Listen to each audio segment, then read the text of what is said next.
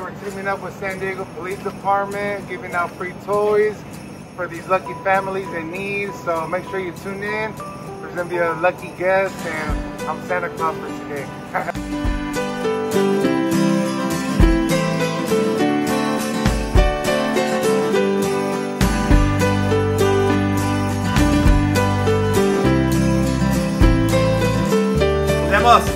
feels good seeing the, the families cry and you know it feels good uh, people in need. Thank you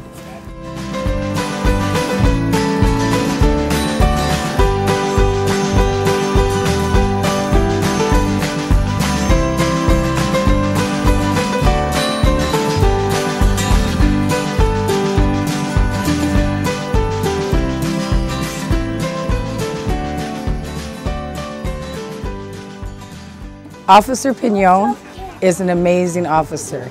He's been in our community for about two years, I think now, at least a year, if not longer. And um, because of him, I appreciate what you guys do.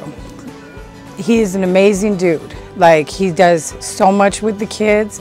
He's so personable and relatable that it makes a difference in what you tell your kids and how to respect the law and stuff like that. It means so much to have his presence in my kids' school and the things that he's done for my kids.